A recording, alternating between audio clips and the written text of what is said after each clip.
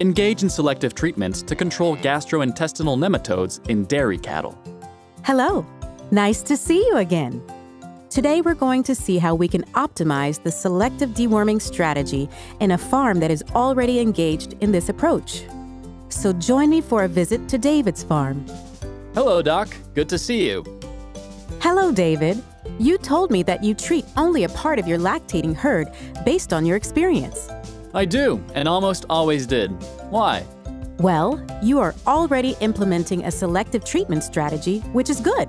But to base your decision only on your experience may not always be reliable. You may treat too many cows, therefore impacting your profitability by treating dairy cows that will not increase their milk production after treatment. As you know, it is not an easy task to select the right ones. Parasites are silent thieves, and maybe some of the cows you put aside are worth treating. So you're saying that there is a better way to select cows? Yes, you can optimize the selection of dairy cows to be treated using validated criteria. This will allow you to treat only cows whose milk production is affected by gastrointestinal nematodes. Treating these cows will result in an increase in milk production. So, how do I know which cow I should treat?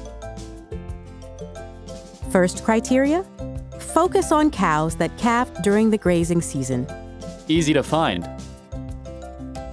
Look at their level of production and focus on cows that underperformed in early lactation in comparison with their herd mates at the same lactation stage. Okay, so basically, it's the cow that calved during grazing and is behind the others when starting her lactation that needs to be treated. Exactly. According to field studies, you can expect an average gain of about 1 kilogram per cow per day using the criteria we have just talked about. Remember that this is an average and can vary from herd to herd. Well noted. Thank you. As previously discussed, it is important to consider the type of dewormer and how it is administered. Ask your veterinarian if you're interested to implement selective deworming in your farm.